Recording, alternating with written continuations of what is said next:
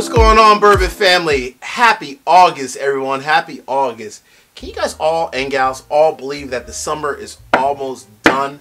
I can't believe it. I, I can't. I can't. Hey, it's August. It's time to celebrate. Let's have some fun with it. Let's enjoy ourselves. Um, let's enjoy what we have left right for the rest of summer. All right. So I want to change up a little bit today. So August is here. A couple updates. Got to give some updates. Number one, three new patrons. Huge shout out to Harry, Rich, and Josh. I appreciate you, gentlemen. Thank you very much for supporting the Bourbon Judge. Um, so welcome to the uh, to the Bourbon family, to the Bourbon Judge family. Really do appreciate all your support, all the love. Uh, and then again, also thank you. Huge shout out to all my patrons in general, as well as to everyone who watches the channel. Much love, much respect. I really do appreciate all the love from everyone out there. Um, and then also kind of kind of building off patrons. Funny enough, I spent today bourbon hunting all well not all day but all morning all early morning uh, early afternoon as well with one of my patrons actually we kind of realized that hey we kind of live you know a couple hours away so we kind of met in the middle we went bourbon hunting he grabbed the bottle or something i found a bottle um, you know it was really cool just the number one meet in person catch up. I mean, that's honestly what this is all about, just kind of coming together. So we had a blast. Really appreciate it. It was really cool to meet meet him in person. And uh, I mean, again, this is what it's all about, right? Just enjoying good things, all bourbon things related. So uh, good stuff.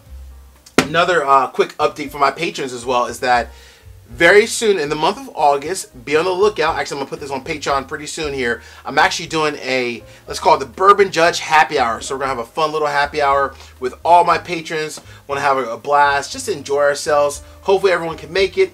Can't make it, we'll raise a glass to you in your honor. And uh, we will cheers and, and, and, and miss uh, whoever can't make it. But hopefully everyone can make it. Um, I'll put the details well in advance on Patreon and uh, look forward to really just honestly trying to catch up with as many of my patrons as possible.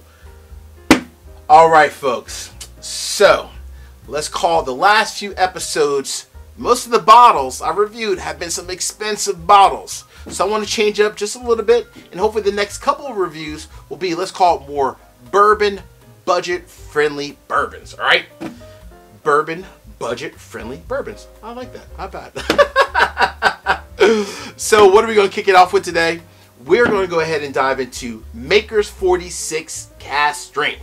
All right, let me let you guys see the bottle. Hold on. There's the front of the bottle. Got that? Got it, got it, got it, got it. All right. That's the back. There we go. All right, you guys got it.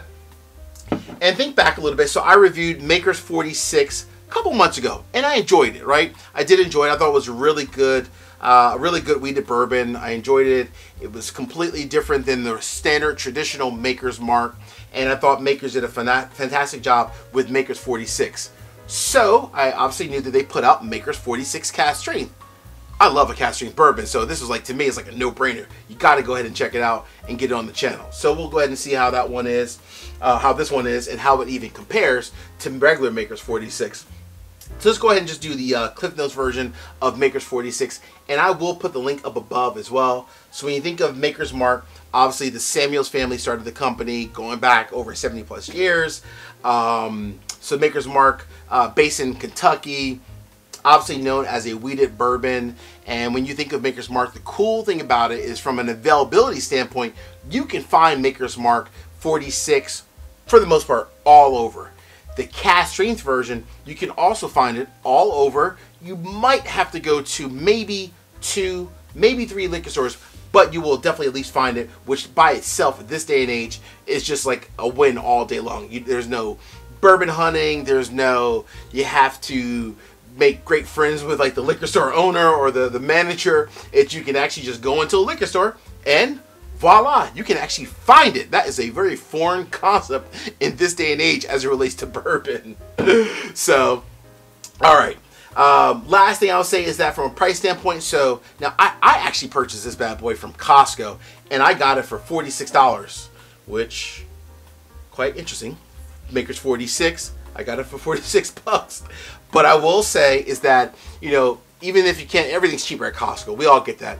If you do find it in a regular liquor store, it's typically going to be about 50 bucks, but typically not much more than that. It's a $50 bottle all day long, which is great. Again, never marked up. never secondary, none of that nonsense. Regular everyday prices, which by itself you can't beat. I poured a little bit. Let me get a little bit more. Ugh, goodness gracious, that was in there.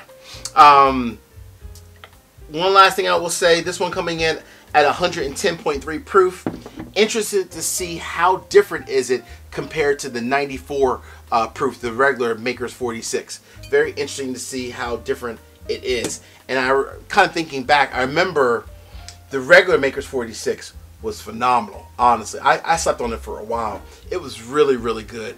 You know, I love obviously you know the whole process where they put like the the different staves in right? They put the the bourbon their ma- regular makers back into their barrels with these heavily seared staves.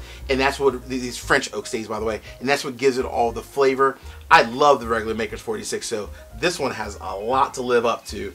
Um, obviously coming in at cask strength I love a cask strength bourbon so I'm hoping I'm praying fingers crossed that it works out. Let's go ahead and see. Let's get into that color real quick so it's very nice. It's like a it's like a dark walnut brown, almost uh, yeah, it's like a walnut. A little bit of like auburn in there as well. Not bad, not bad. A little reddish brown, not bad at all. But more walnut brown. Let's get into the nose a little bit. So holy mother pearl. Mmm. Damn. That is definitely slightly different than the nose on the regular Makers 46. So I remember the regular Makers 46 had a nose of mostly like French toast, some caramel, um, some pecans, some vanilla, uh, and some like toffee and cinnamon all mixed up. This one, just to me, let's make sure here, interesting. It still has all those elements, your French toast, like the caramel, the vanilla, the pecans, and like the toffee but the cinnamon is the number one thing that stands out in this nose. Slightly different than the regular 46. The cask strength, now again, this one's 110.3 proof, where the regular Maker's 46 is 94 proof. So, obviously much stronger, and being barrel proof at cask strength, or I should say at cask strength, um, way more notes of cinnamon, way more robust in the nose. All right, folks, I need three favors. Number one, please hit the like button. Number two, please drop me a comment. I love going back and forth. Nothing better than going back and forth with everyone. Really do appreciate it. And last but not least, please make sure you hit the subscribe button as well. Appreciate that also. Mmm. Not bad. Woo! All right, folks. As we say each and every week, peace, cheers, salute. Appreciate everyone out there. Salute.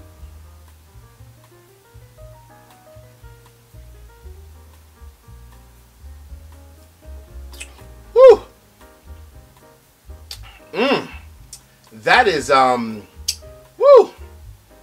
That packs a nice little punch.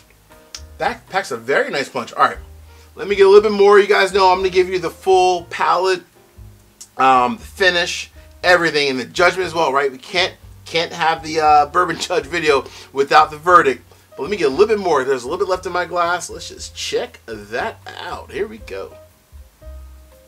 Mm.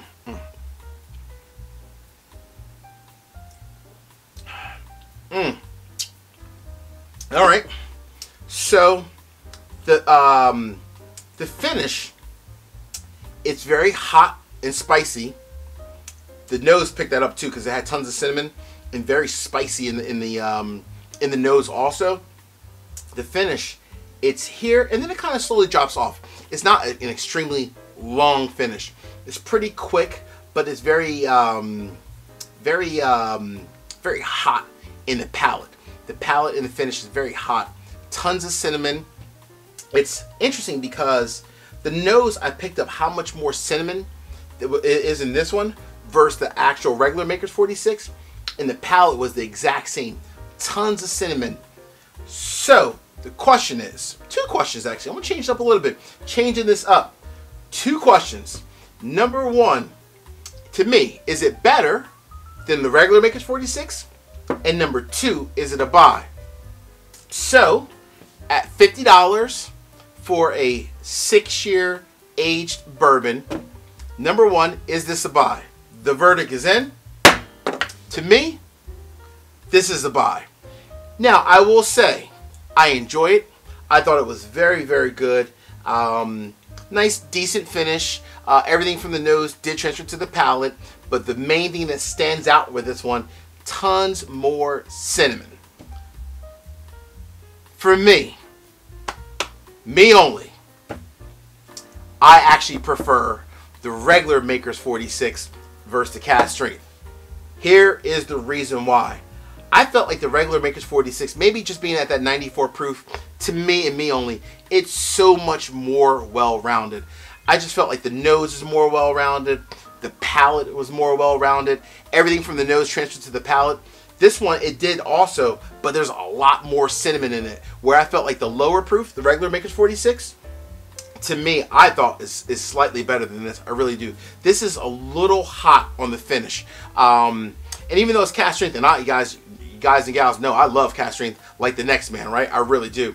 This one was a little hot and it just wasn't as well rounded in the finish. That lower proof really packs, in my opinion, almost maybe even a better punch and a more well-rounded punch. Still a buy, still a good product, but uh, you're not going wrong with this one. But if it was me and I'm picking between the two, all day long, I would go with the regular Makers 46 over the strength. That's just the bourbon judge. That's how I roll. That's my decision. You might like it a little bit different, but uh, I would definitely prefer the regular Makers 46 over this bad boy. Folks, I appreciate everyone out there. Peace, cheers, salute. Uh, by the way, be on the lookout uh, coming soon. Trying to get together with a few channels for my first ever live um, episode on the Bourbon Judge channel. So more to come. Going to have some future, uh, some other channels uh, as guests. We're gonna have some giveaways. Talk to you guys soon. Peace out. Later.